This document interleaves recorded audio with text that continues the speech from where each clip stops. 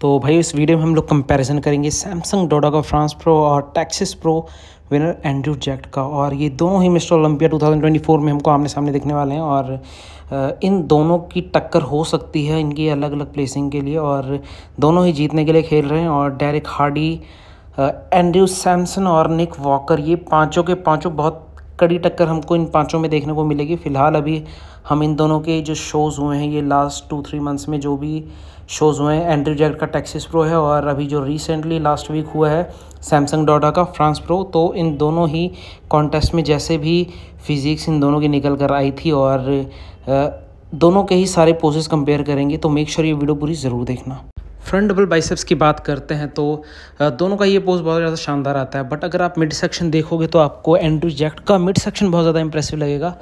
उनका abs obliques वाला side ज़्यादा रिब लगेगा वी टेपर काफ़ी अच्छा लगेगा। वहीं सैमसंग डोडा का आपको मिड सेक्शन उस लेवल का इंप्रेसिव नहीं लगेगा। और अगर आप क्वाड्स की बात करोगे तो एंड्रू जैक्ट का हमने हमेशा से देखा है, जो इनर थाइज वाला साइड होता है, वो फ्लैट नज़र आता है। मतलब कि जो सार्टोरियस मसल है, जो कि आपको सैमसंग डोडा का ज़्यादा बेटर देखने को मिलता है क्वार्ट्स में। और ओवरऑल अगर आप प्रोपोर्शंस देखोगे तो प्रोपोर्शंस आपको ज़्यादा बेटर एंड्रू जैक्ट के लगेंगे। और सैमसंग की बात करोगे तो काफ़ी अच्छा खासा साइज़ हमको ओवरऑल बॉडी में देखने को मिलता है बट मेरे को ये पोज ज़्यादा बेटर एंड्रू जैक्ट का लग रहा है बिकॉज़ प्रोपोर्शंस बहुत ज़्यादा अच्छे हैं। बिल्कुल एक क्लासिक फिजिक नज़र आती है आपको मिड सेक्शन आपको पतला दिखता है और लैट्स का देख सकते हो सेरेटस इंटीरियर देख सकते हो बट सैमसंग डोडा कहीं ना कहीं अपने मिड सेक्शन से मार खाते हैं इस पोज में। बाकी क्वाड्स बहुत अच्छे हैं चेस्ट शोल्डर्स और आर्म्स भी काफ़ी अच्छा खासा साइज़ कैरी कर रहा है बट एंड्रू जैक्ट का मेरे को इस बार का टेक्सिस प्रो में सबसे बेस्ट परफॉर्मेंस इस बार का लगा है।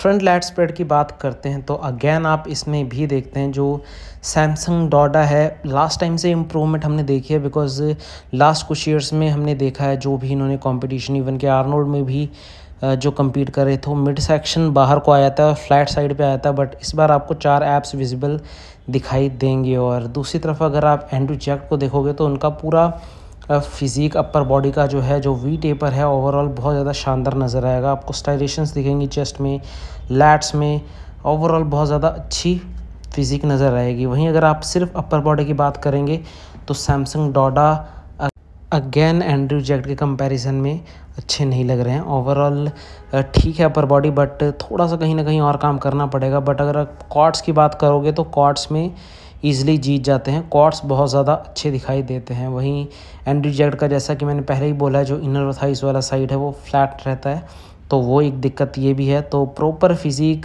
कोई ना कोई प्रॉब्लम है। अगर यही एंड्रू जैक्ट के ऐप्स सैमसंग डोडा के पास होते, तब तो कोई फाइट वाला सीन ही नहीं होता इजीली जीत जाते। बट एंड्रू जैक्ट के जहाँ पे ऐप्स बहुत अच्छे हैं, वहीं सैमसंग डोडा का लेग्स और ओवरऑल बॉडी ज़्यादा बेटर नज़र आती है। एनी साइड चेस्ट की अगर हम बात करते हैं तो इसमें आपको जो सैमसंग डॉडा है वो ज़्यादा इम्प्रेसिव लगने वाले हैं बिकॉज़ आप कॉर्ड्स और हैमसिंग्स वाला साइड देखोगे तो इस पोज में ज़्यादा बेटर सैमसंग डॉडा के नज़र आ रहे हैं और अगर आप आर्म्स भी देखोगे तो ओवरऑल आर्म्स आपको ज़्यादा बेटर सैमसंग डॉडा के ही लगेंगे और दूसरी तरफ़ दूसरी तरफ़ एंड्रू जैक्ट की बात करें तो मिड सेक्शन बहुत ज़्यादा इंप्रेसिव नहीं लगता और ग्लूट्स हैमसिंग्स हमने ओलंपिया के स्टेजेस पे भी देखा है कि इस पोज में इनके जो लेग्स हैं बहुत ज़्यादा अच्छे नहीं लगते हैं ओवरऑल और इनका अपर बॉडी अभी फ़िलहाल ठीक है बट सैमसंग डोडा का ओवरऑल ये पोज कंडीशनिंग साइज़ काफ़ी अच्छा लग रहा है। बैक डबल बाइसेप्स की बात करें तो इसमें अगर आप देखोगे एंड्रू जैक्ड थोड़े से ज़्यादा वाइड आपको नज़र आएँगे as compare to Samson Dauda और आप लोअर सेक्शन देखोगे अपर बॉडी का एंड्रू जैकेट का तो वो भी बहुत ज़्यादा आपको स्मॉल नज़र आएगा। और अगर आप सैमसंग डॉटा की बात करते हैं तो आपको अपर बैक ज़्यादा डेंस नज़र आएगी, ज़्यादा सेपरेशन नज़र आएगी। मिडल ट्रैप्स आपको बहुत हैवी लगने वाले हैं और शोल्डर आर्म्स भी बहुत ज़्यादा अच्छे सैमसंग डोटा के लग रहे हैं। और अगर हम ग्लूट्स की बात करते हैं तो सैमसंग डोटा ने बहुत इम्प्रूवमेंट्स करा है अपने ग्लूट्स में। आपको पहले से ज़्यादा रिब नज़र आएँगे और वहीं अगर हम एंड्रू जैक्ट की बात करें तो इनके ग्लूट्स काफ़ी सही हैं बट हैमस्ट्रिंग्स वाली साइड पे देखोगे तो आपको ज़्यादा बेटर हैमस्ट्रिंग्स जो हैं सैमसंग डॉडा के लगेंगे। ओवरऑल प्रोपोर्शंस बहुत अच्छे हैं एंड्री जैक्ट के। कहीं ना कहीं हैमस्ट्रिंग्स ग्लूट्स वाला साइड भी ठीक है बट हैमस्ट्रिंग्स पे ज़्यादा काम करने की ज़रूरत है और बैक अच्छी है बट सैमसंग डॉडा का ओवरऑल डेंसिटी बहुत ज़्यादा अच्छा है और इस पोज में उनका ओवरऑल अच्छा लग रहा है हैमस्ट्रिंग ग्लूट्स ओवरऑल बैक इनकी बहुत अच्छी लग रही है तो ये पोज जाता है सैमसंग को। बैक लैट स्प्रेड की बात करते हैं तो इसमें अपर बैक काफ़ी, दोनों की काफ़ी इंप्रेसिव आपको नज़र आएगी बट जो मिडल ट्रैप्स हैं डेंसिटी नज़र आएगी, वो आपको सैमसंग डॉडा की थोड़ी सी बेटर नज़र आने वाली है।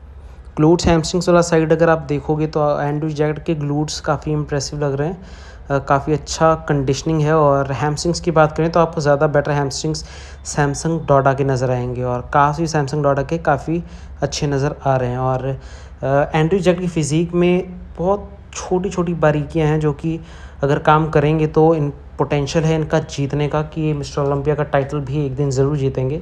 बट अभी फ़िलहाल के लिए ये पोज सैमसंग डॉडा को जाता है।